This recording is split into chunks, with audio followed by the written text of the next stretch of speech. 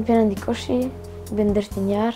Ik speel voetbal, ik speel bij Anderlecht. Ik zit op school in het Sint-Niklaas Instituut in Brussel en uh, ik hoop later een profvoetballer te worden.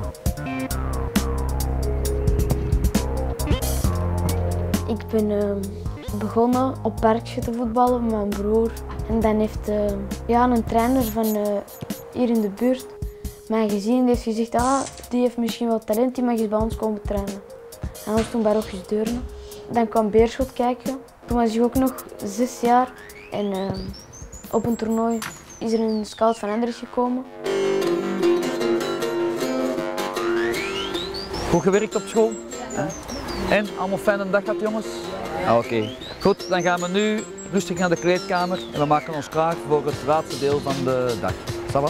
Ik ben bij de Purple Talents. Dan gaan we naar school in Brussel. Elke ochtend opstaan en dan met busje naar school. En dan tijdens de middag om 12.30 uur een training. Na school studie en uh, dan moet de groepstraining.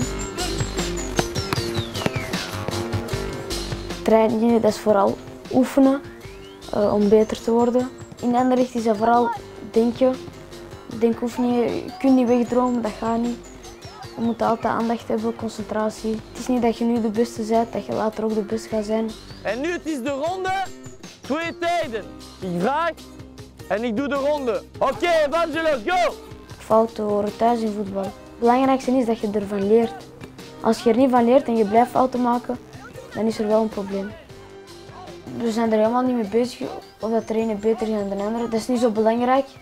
Het is vooral in een groep. En als je in een groep goed presteert en als je je goed voelt, dan gaat je automatisch ook individueel beter zijn. 10 seconden en drinken. 1, 2, werken. Het is, het is puur uh, het best doen, alles geven. Als je iets wil bereiken, dat, is, dat heb ik altijd geleerd van mijn ouders. Als je iets wil bereiken, dan moet je, dan moet je alles voor geven. En dat blijft altijd in mijn kop, dus dat is iets dat ik nooit vergeet.